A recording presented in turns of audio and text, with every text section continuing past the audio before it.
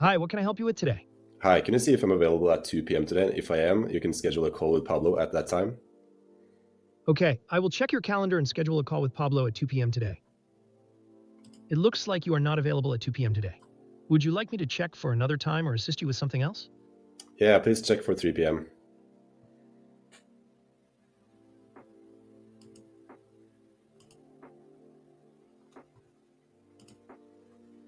I have checked your calendar and found you are available at 3 p.m. today. I scheduled a call with Pablo for that time and sent him a confirmation. So we're going to start off in a completely new n8n workflow here so I can show you step by step how to actually make this voice AI agent assistant. And by the way, we are use, going to use ElevenLabs to basically host the voice assistant and then that ElevenLabs can use this n8n workflow as for custom operations like you saw with the email and also the calendar. So we're going to head over to ElevenLabs as you can see in here, we are using ElevenLabs because it is one of the best uh, AI voice softwares. You can use even use it for free by starting off with uh, 10 minutes of ultra high quality text to speech and also 15 minutes of conversational AI, which we, is what we're going to use. So just click on get started and you will just have a dashboard showing up like this. And in here, we want to use the conversational AI. So you can just click on that. And inside of here, you want to create a new agent. So you'll probably be prompted with that if you go to agents so I'm just going to create my own new agent. And in here, I'm just going to call this agent uh, personal uh, assistant. Then we're going to start off with a blank template because we are actually going to make this completely custom from the ground up. And then I'm just going to click on create under here. And now I can move myself over to the left. And I also need to turn my camera back on. And we are going to start creating this personal assistant. So in here, we can just say that we want to use English, of course. And you can also choose which type of voice you want here. Uh, you can use Eric, and you can have a little uh, pre preview of the voice here. You can just click like that, or you can just switch to whatever you would like. But for now, we'll just stick with Eric, and we will go over to the agent. And in here, we want to for the first message, you can say whatever you want. I'm just going to say, "Hey, uh, what can I help you with today?" As the first message, so the agent will actually say the first message. You will not say hello first, because if you don't have this message in, you will have to say hello to the agent first. I just like to have the agent say, hi, what can I help you with today first. So for the system prompt, we are actually going to say that you are a helpful uh, personal assistant, like so, and we will add to this prompt later, because first we actually need to add some tools.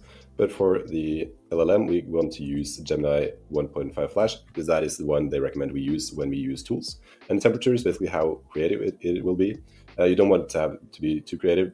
0.5 is good, and you can also limit the token usage if you want to limit that, but have it to minus one and you won't limit any tokens, uh, token usage. And for the knowledge base, we will actually use uh, n8n as the knowledge base. If you wanted to have a knowledge base, you could either just add it in here, or you could just uh, set up a RAG agent in n8n and have that as your knowledge base.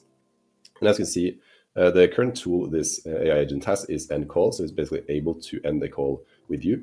If you don't want that, if you want to uh, end the call yourself, you can just uh, throw away this. But for now, we'll just add a tool, and this tool is something we will call, uh, we can just call n8n tool, and also added a description saying, call this tool whenever you are prompted with doing any custom tasks, like checking my calendar or sending emails.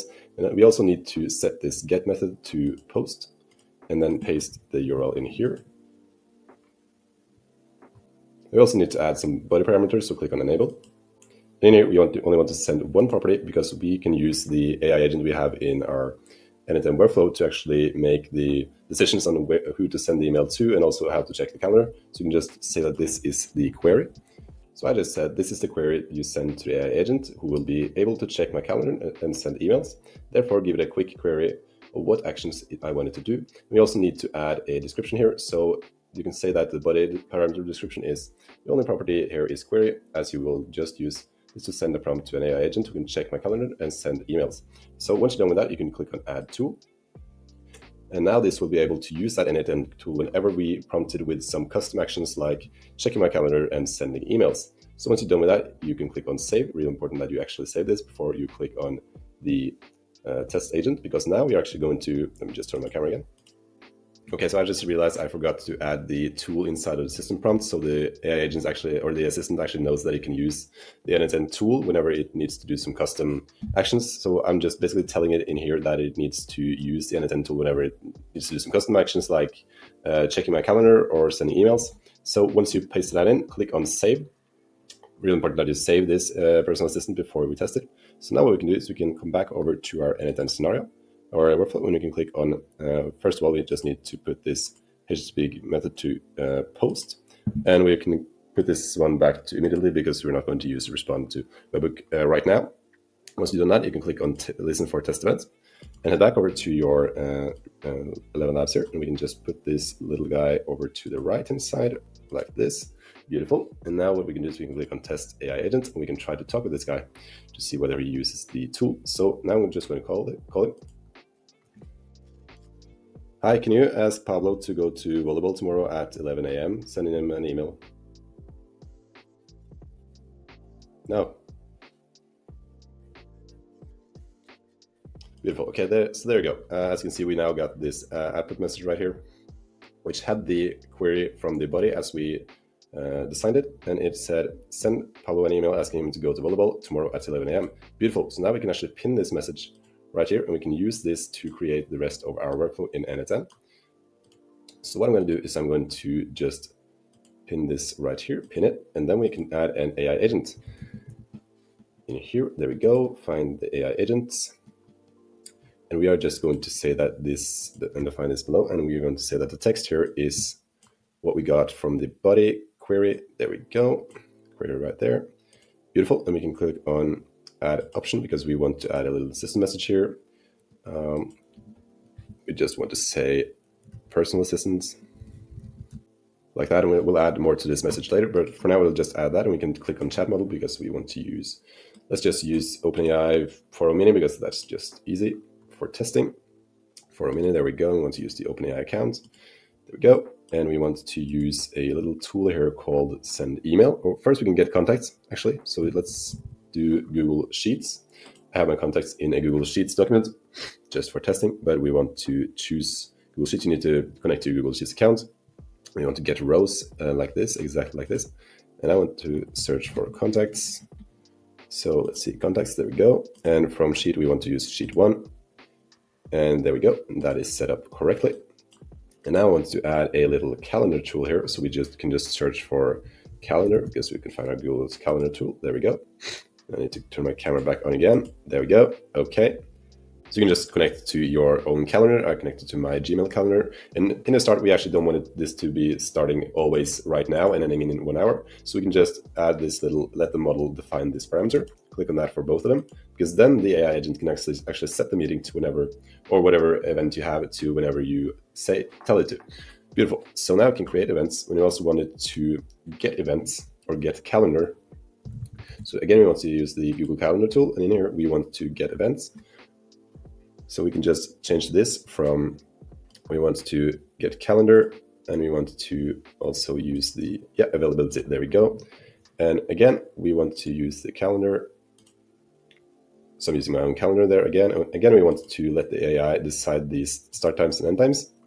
For the last tool, we are going to add a Gmail tool because we want to send Gmails or uh, emails to the people in our contact list. So you can just search for Gmail, use the Gmail tool,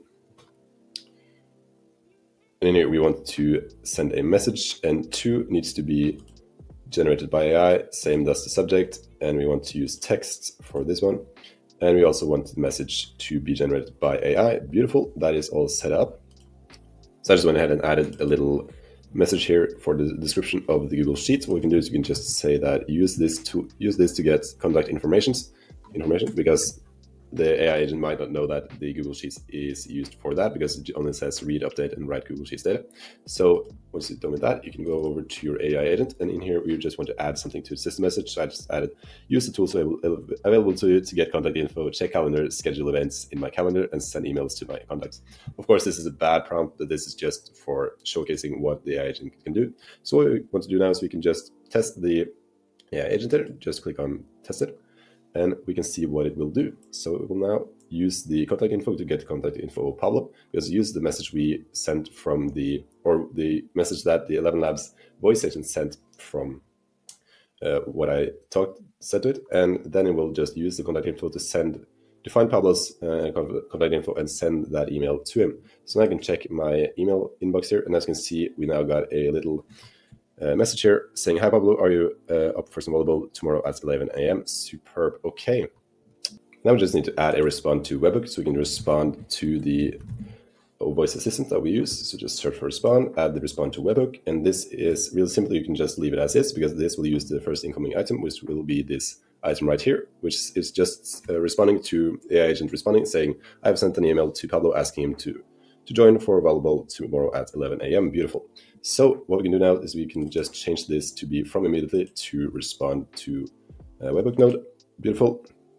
And by the way, if you want this to uh, be run for production, you uh, obviously need to change this to production URL. And this URL, you need to add that to your ElevenLabs and replace that with the test URL. And you also need to set this to active, so it will run anytime you uh, call the AI uh, assistant.